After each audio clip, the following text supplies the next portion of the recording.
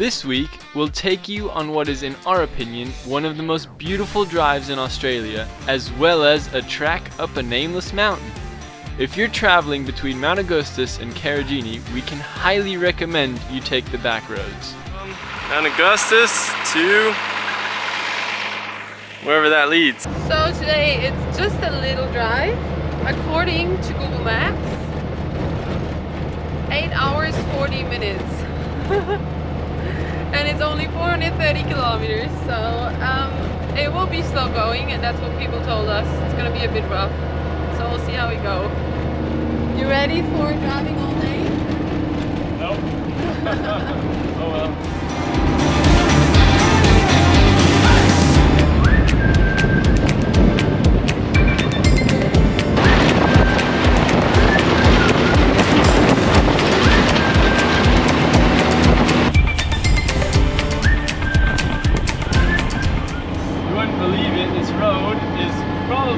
Better than a bitumen highway. Like, it is amazing how well they've maintained this road. Love it. Check it out. Probably one of the most beautiful drives we've ever done. And yeah. we've seen a lot.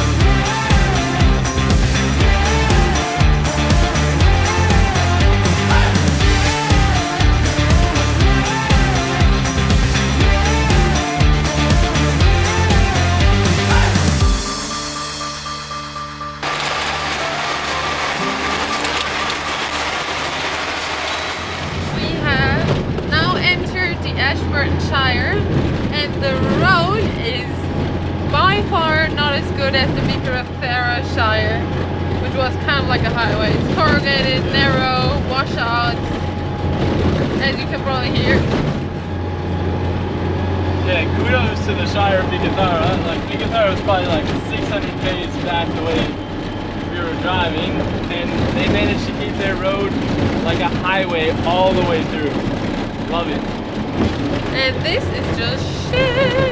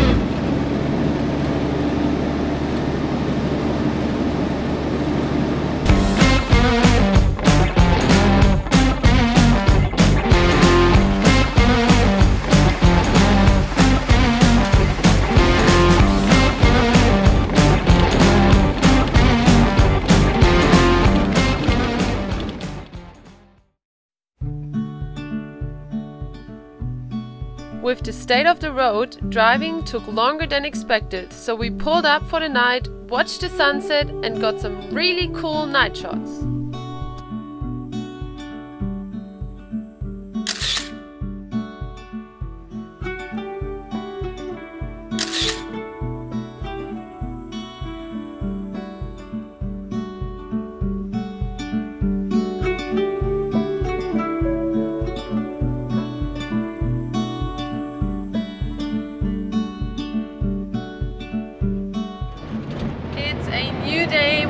New on the track. Um, there's still It's road. it's a road actually. It's got a name, but there is so many washouts you can't even go fast, and you have to slow down every like 100 meters. And it looks like this. That's a smaller one. It's a pretty good one actually. Yeah, you don't want to hit that fast because um, it might damage your vehicle. So we've got another 166 kilometers to go, and then we should Tom Price.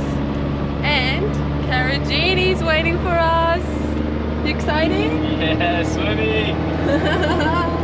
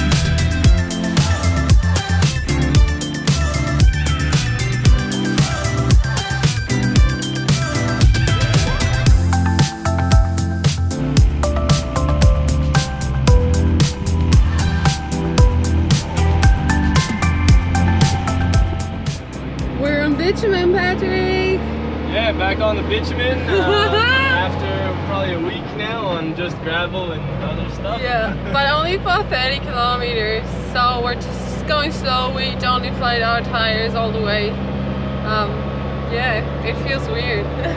so smooth.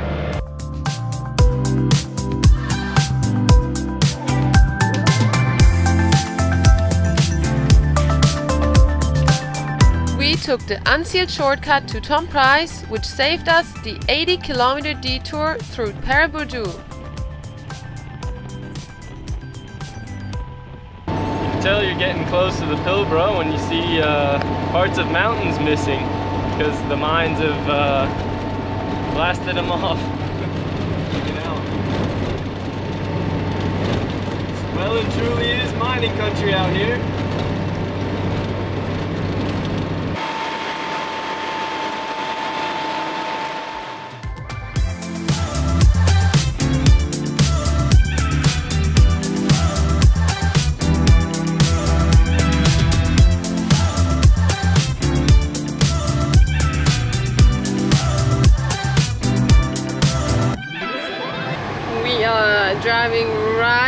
Past the mine site and actually the traffic light's red so there should be a truck or something coming I reckon.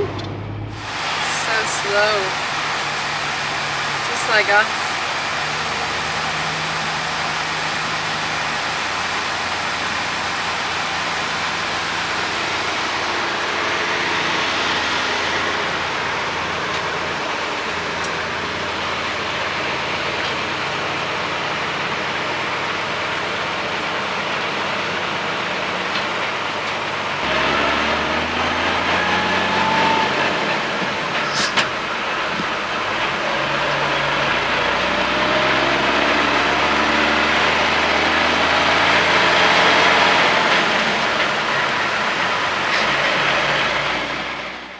Pilbara is one of the most resource-rich regions of the world and accounts for more production than the next two countries combined, with about 850 million tons of iron ore mined per year.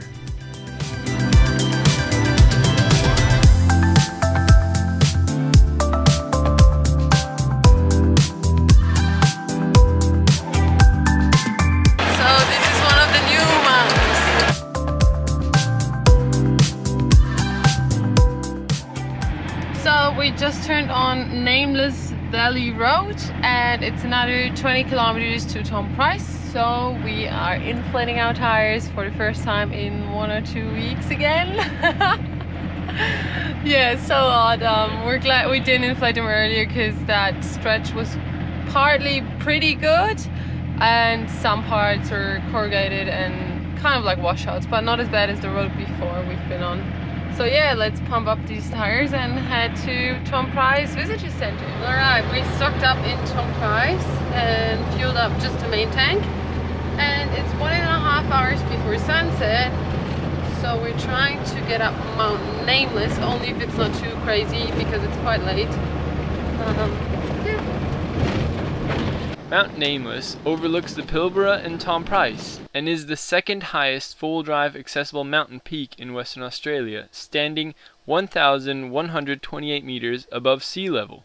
If you don't have a four wheel drive, there is a walking track to the top as well. The road's very smooth. Everything's shaking. We've been spoiled with all the good outback roads. Yeah.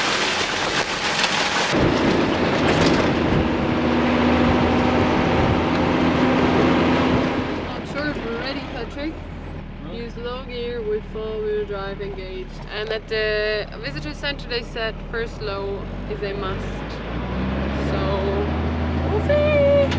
We'll drive on drives on. Step number one.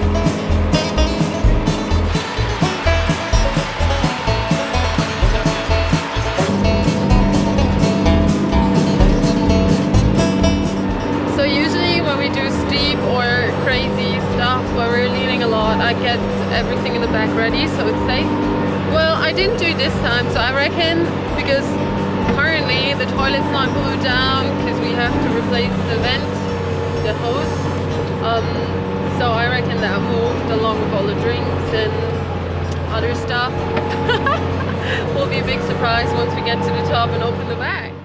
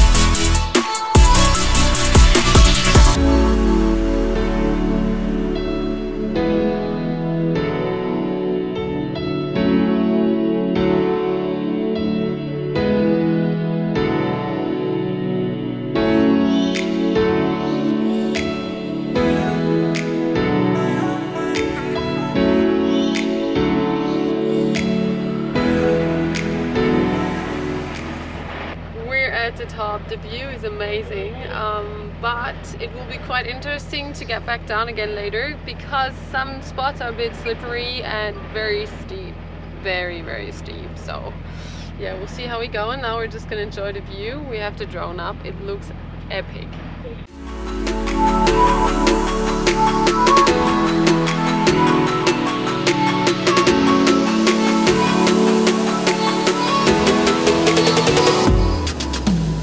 Check out this amazing spot. Almost like 360 degree views. Beautiful colors over there. An awesome sunset here.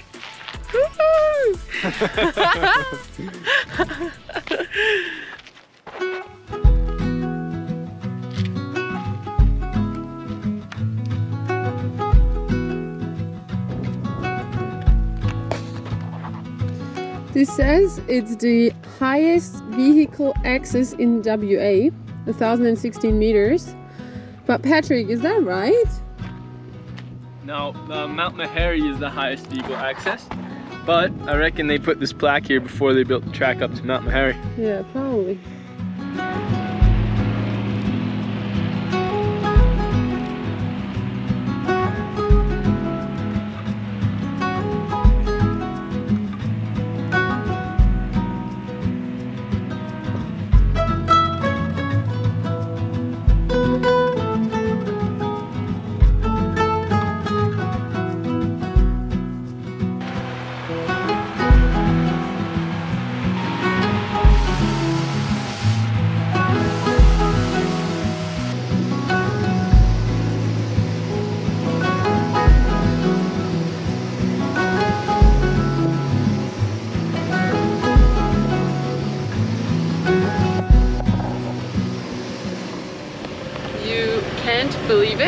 There is a Unimog coming up as we go down and a Unimog we don't know, so that's pretty interesting.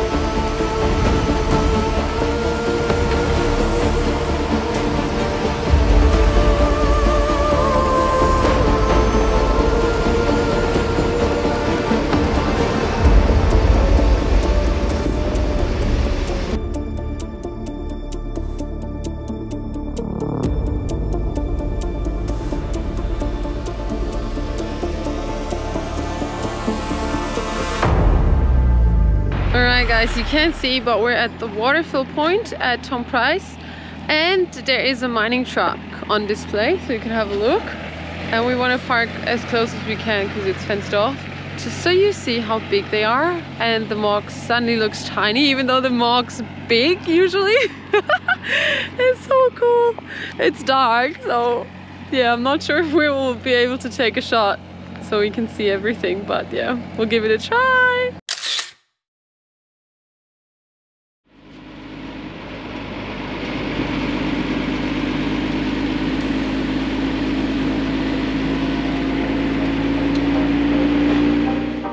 Sorry guys, we didn't quite make it to Karijini this episode, but we promise we'll take you into the famous gorges and waterholes next week.